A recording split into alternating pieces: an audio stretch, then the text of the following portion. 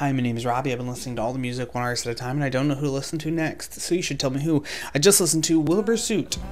Not enough albums to rank. Wilbur Soot is like this kind of acoustic emo style music where usually I'd be a big fan of that. Every song I was like, this is pretty good. And then as I listened to his voice more, it kind of turned me off to the He's also a YouTuber uh, and streamer, and I think he was uh, got bigger first for gaming style stuff and then went on to start making music. And if you're looking for something that's kind of a little ironic, half taking itself seriously, acoustic emo music, then this might be right up your alley, but it just didn't quite work for me. I'm honestly a much bigger fan of the Lovejoy project he was a part of, and I just, besides like the one song that was pretty big, I wasn't a huge fan of this. So where do I think you should start? Usually I would recommend starting with an album. I wouldn't here, I would just listen to his singles.